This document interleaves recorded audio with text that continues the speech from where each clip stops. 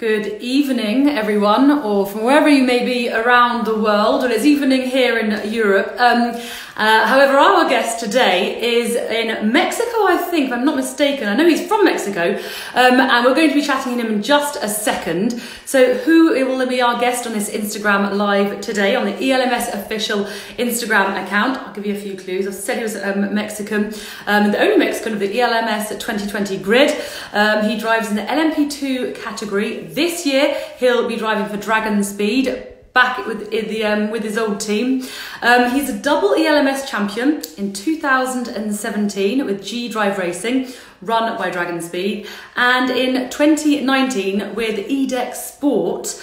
Um, and if you haven't guessed already, it is of course Memo Rojas. So I'm just going to say I've just seen he is online. Memo, I'm just going to accept your request to join. I gave you a little bit, a bit of an introduction. Here we go. There we go. Memo. So as I say, I'll be chatting to Memo Rojas in just a few seconds. Providing connection is good, and it is. How are you doing, Memo? Hello, everyone. Uh, nice, nice to see you uh, from America. I'm actually in Mexico City, um, nice. and uh, doing well. happy to be here. Great, fantastic. So, how has lockdown been going for you? How are you? What have you been up to? Well, uh, you know, we're, we're just trying to deal with uh, difficult times right now, as you know. Um, uh, you know, it's been a wild year. Uh, we're trying to to take things up optimistic as possible, uh, working hard uh, on the fitness side, trying to stay in shape as much as possible, and just I can't wait to get back racing. You know. I, I appreciate it. I can understand that. Now, you been doing what a lot of other drivers have been doing? Uh, we discussed it with Felipe and Sophia. Have you been doing any sim racing? I've been, I've been I have a sim. It's probably not the, not the best sim out there, uh, and, and I've been on my own. I have not uh, doing. I've been doing live races yet.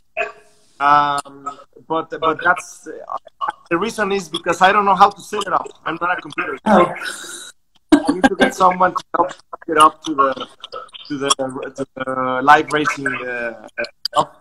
But um, uh, yeah, I've been I've been on my sim uh, every week. You're better in a real car anyway. Say that again. You're better in a real car, so you know. Yeah, for sure. One thing I noticed is that um, you know uh, the sim is not the same as a real race car, and uh, and the sim the sim drivers the, the guys who actually do it all the time they're pretty good. So uh, it'd be nice to see them on a real race car one day. Yeah, right. Absolutely. Um, so, have, what do you think? Firstly, um, how did tests go in? Uh, I think it was the beginning of March for you guys in Spain. How did it go? It went well. Um, you know, it was my first uh, time back with uh, DragonSpeed after two years. I was, uh, you know, very, very happy to work with uh, Ryan, uh, Ryan Cullen, who, who will be my teammate this year. Uh, great guy. Uh, and unfortunately, Ben Hanley couldn't make it because he was testing at, at Sebring. But I know Ben, we, we were teammates in, in 2017 in different cars. But, but you think we did a great job with Ryan uh, and myself, uh, and uh, you know we're, we're, ready to start this. You know. So as you say, you're back with DragonSpeed. Um, what was it like to be back? You know, seeing some familiar faces. it's great because you know it's not like you know every time you, you go to a new team, there's kind of um, an adaptation process, learning, even learning all the names. I, I, I personally like to learn all the names of all my all my guys, all the mechanics, all the crew, and it was a bit easier because I already.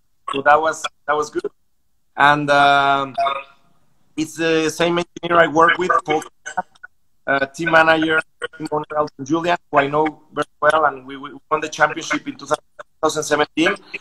So it makes the, the transition a bit easier. Uh, although we, you know, to get racing, you know, we haven't done it racing yet. So you won with them in 2017. You also current reigning champion in uh, 2019 with IDEC um, Sport. But can you just tell us, out of the two, what was the hardest to win? What year was the hardest to win a championship, would you say?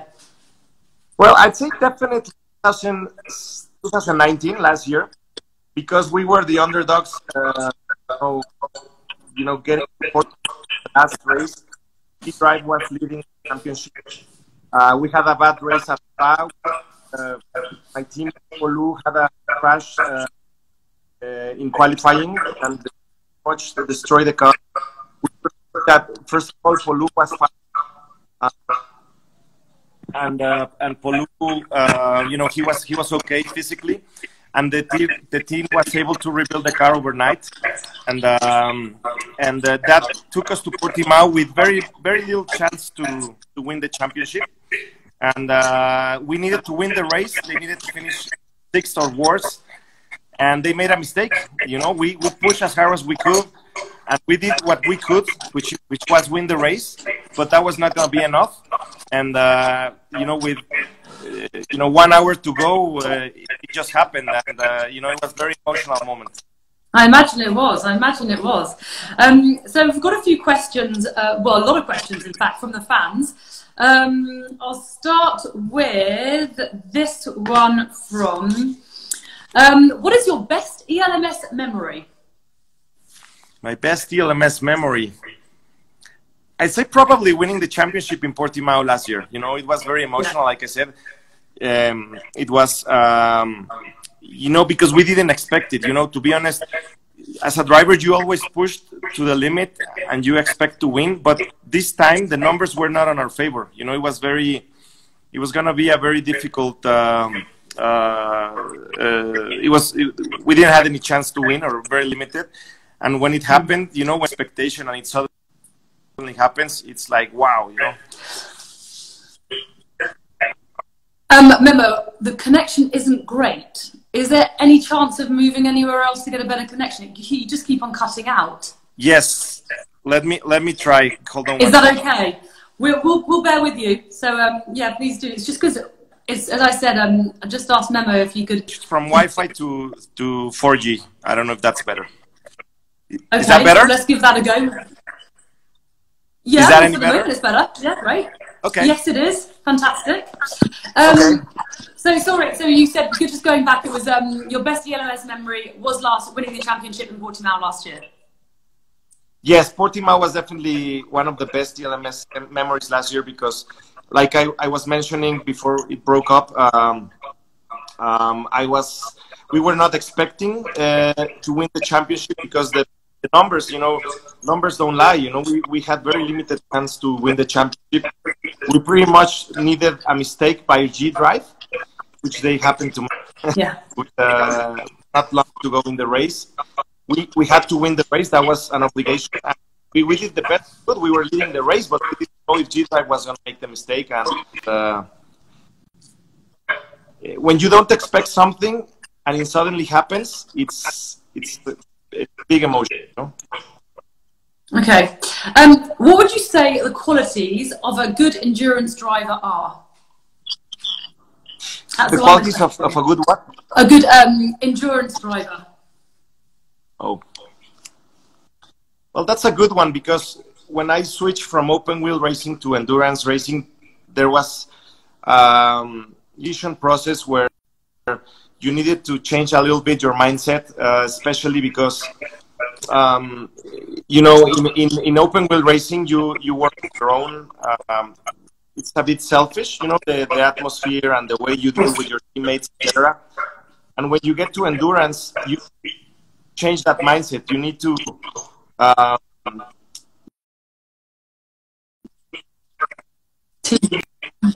your teammates instead of your enemy, they are your number one uh, uh, partners, partners in say. And, and uh, I developed the ability to work as a team manner. Uh, also, you know, you, the aggressiveness level is quite high in endurance racing, but you need to um, you need to manage that because at the end of the day, you need to, for example, in, in Le Mans, in the 24 hour race, you know, you need to take off the car. The car need to, needs to be there for, for the end of the race.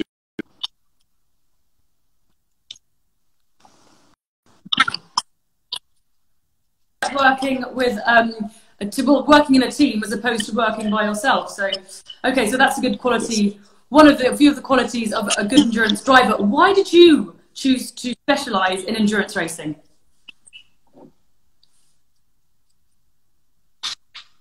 Well, I guess it happened um, as a consequence of, of where my career my career path uh, took. Um, uh, you know, I was trying I was trying to get at some point in my career to IndyCar in America because that's where I started my career, in the United States, and eventually I came to Europe trying to to achieve the dream of Formula One. I know there's very limited opportunities uh, to make it in Formula One or IndyCar. You know, you need to be good you need to be talented, you need to be lucky, and you need to be at the right place at the right time. So, you know, unfortunately, that didn't. It, getting a, a, call by Chip Ganassi Racing to drive for them in in uh, IMSA, United States, and covered you know what, what ended up being the best uh, you know the best opportunity in my career driving in America, like driving for, you know, for McLaren or or Mercedes in Formula One. I had a big, uh, a very good time there for eight years with the uh, Scott Pruett. Mm-hmm. We won the IMSA Championship four times, and we won the 24 Hours of Daytona three times. So it just happened, you know. Uh, the, the opportunities you know, you just take the opportunities as they come, and I had the opportunity to drive for Chip, and it my career path just took over, took, took off them since then. Okay, now what's your favourite track on the ELMS calendar and why? Past or present? Actually, it was one of the questions that was asked on Instagram uh, this week, yesterday. Um, what is your favourite track, like um, old track or new track, um, on the ELMS calendar and why? Well, this may sound, sound as a cliche, but Spa, you know, Spa is it's like the roller the roller coaster of motorsports. You know, it's fun. It has uh, elevation changes. It has very fast and challenging corners like Raidillon or Rouge. Um, you know, everybody, every driver says that. I know we all said that, but the reason we all say that is because it is so much fun. So, Spa, favorite track on the ELMS calendar. Um, have a question from Ryan Cullen who wants to know, are we going back to that restaurant in Barcelona this year? Yes, of course. I, I took him to a very nice Spanish restaurant. And I, I suppose he, he enjoyed it so much because he, he made me go there again the following night. Um, it was a nice Spanish restaurant. Um, and uh, I had to translate for him because he speaks zero Spanish. So, uh, yeah, he was like my, my, my, my, my baby. So obviously, this kind of confinement period is extremely difficult for all kind of athletes. Um, I mean, would you say that it's going to be slightly easier for you knowing that you're kind of coming off a big championship win? Does that make it slightly easier for you? Not really, you know, because you know winning the championship doesn't necessarily guarantee anything for the following year. You know, if anything, the guys don't win the championship you know, they, they have hunger, they, they prepare harder, they work harder. So you need you need to do the same, stay at the level. You know, my experience in LMS is that um, every year has been getting uh, tougher. The competition is, is tougher, close to 20 cars in, in prototypes in, in LMP2. Um, and, if, and you look at the grid, you look at the net, you know, you have big champions from many, many, other, many different classes. Um, for eh, ex Formula One drivers, um, LMP1, uh, Formula E drivers, winners. Yeah. So, it, you know, there's no guarantee. You need to, to, to win again. You need to stay at the top of the game uh, all the time. Okay, and what do you think is going to be the biggest challenge for you this year? Say that again.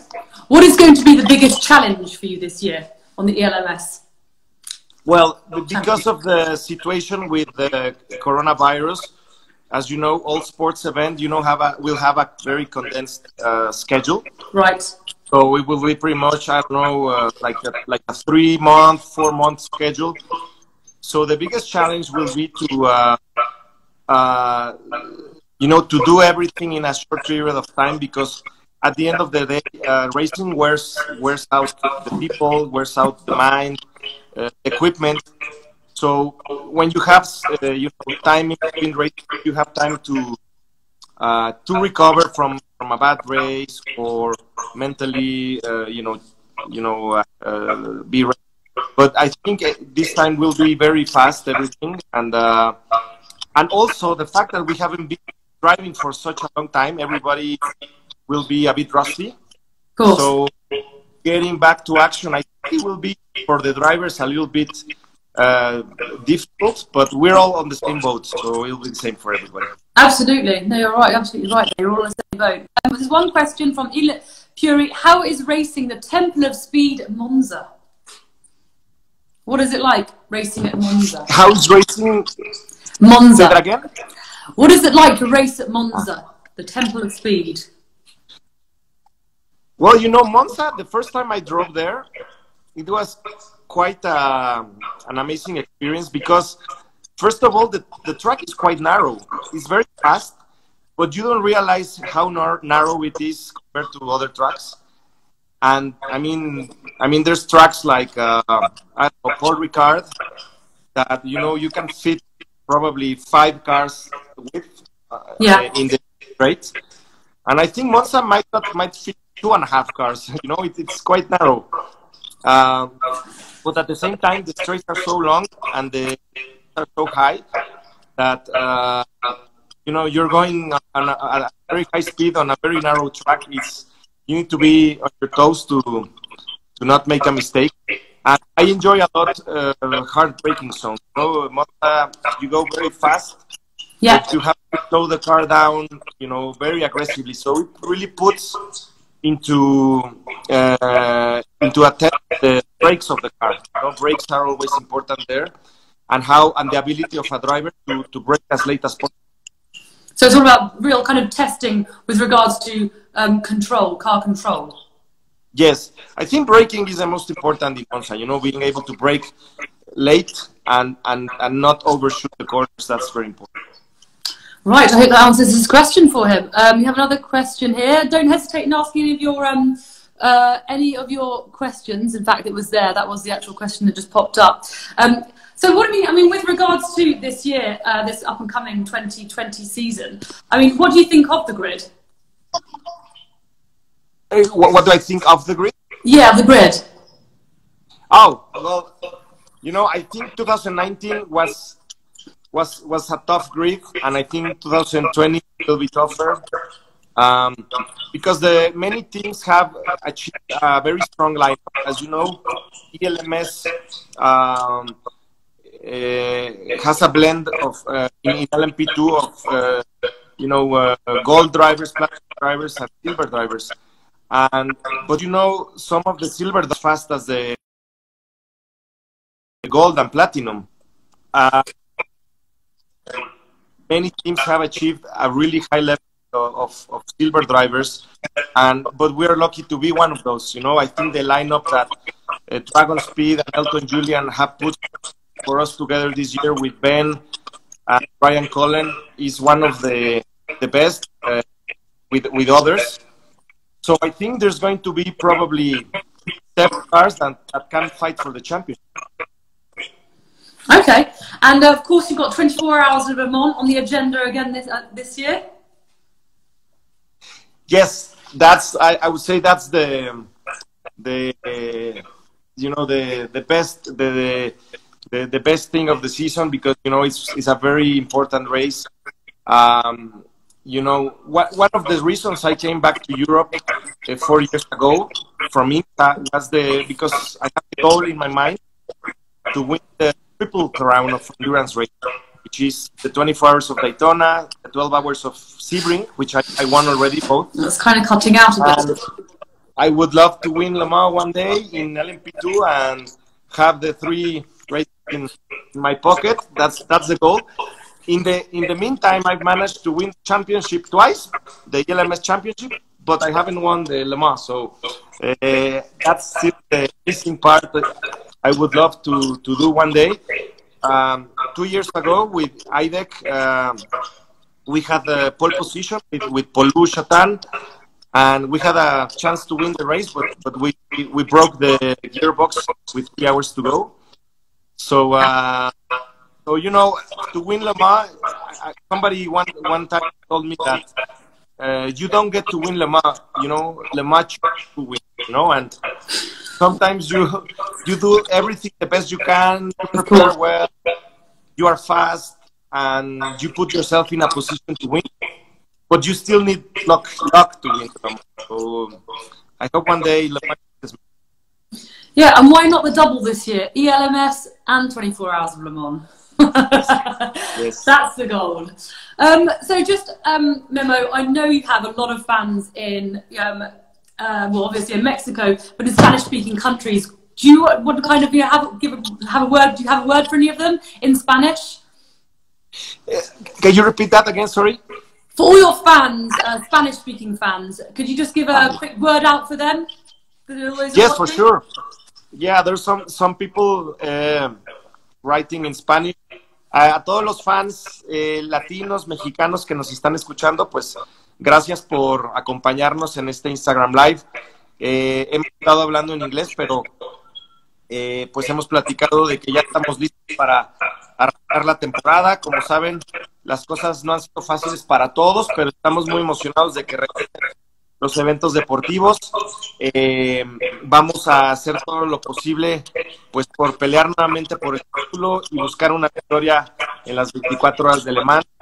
Gracias a todos por, eh, por apoyarnos, por estar aquí y, y bueno, eh, acá estamos.